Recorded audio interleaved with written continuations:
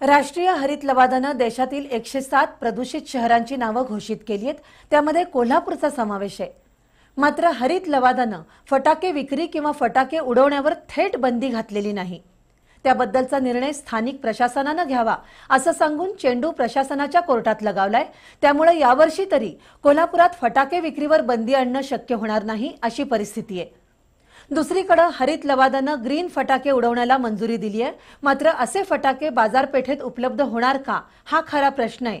तर उत्तम हवामान अशी ओळख असलेल्या कोल्हापूरचा समावेश प्रदूषित शहरांमध्ये झाल्यानं कोल्हापूरचे जागरूक नागरिक यंदा कमीत कमी फटाके उडवतील अशी अपेक्षा आहे. देशातील एकशे सात शहरांमध्ये प्रदूषणाचा स्तर प्रचंड वाढल्याचा निष्कर्ष राष्ट्रीय हरित लवादानं जाहीर केलाय. दुर्दैवानं त्यामध्ये कोल्हापूरचा समावेश आहे.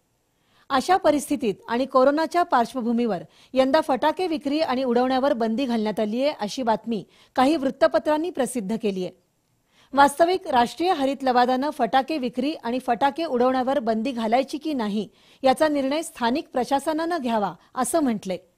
तर त्याचवेळी घातक रासायनिक पदार्थ नसलेले ग्रीन फटाके उडवण्यास परवानगी दिली आहे पण मुळात कोल्हापुरात ग्रीन फटाके म्हणजे काय आणि ते कुठे मिळतील याबाबतच माहिती नाहीये.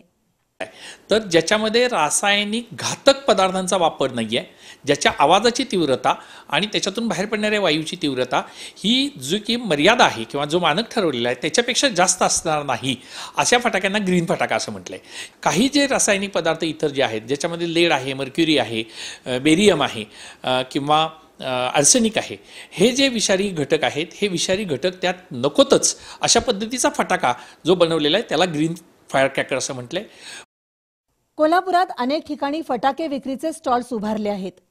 कित्येक व्यापाऱ्यांनी फटाक्यांचा स्टॉक दुकानात ठेवलाय. अशावेळी अचानक राष्ट्रीय हरित लवादाचा निर्णय आल्यानं संभ्रमावस्था वाढलीय.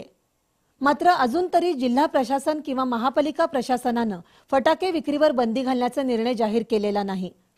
दुसरीकडे कोल्हापूरचे नागरिक जागरूक असल्यानं कोरोनाचं संकट आणि वाढतं प्रदूषण लक्षात घेऊन स्वतःहूनच फटाके उडवणार नाहीत अशी अपेक्षा आहे.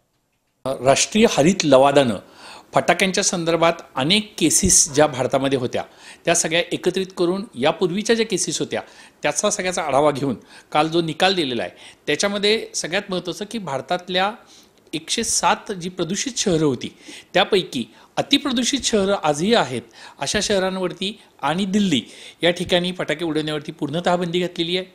आपला कोल्हापूरच्या बाबतीतला विचार करताना कोल्हापूर हे प्रदूषित हवेच्या प्रदू- प्रदूषित शहर म्हणून जरी असलं तरी त्याचे जे तीन गट केलेले आहेत त्याच्या तिसऱ्या गटात आपण आहोत.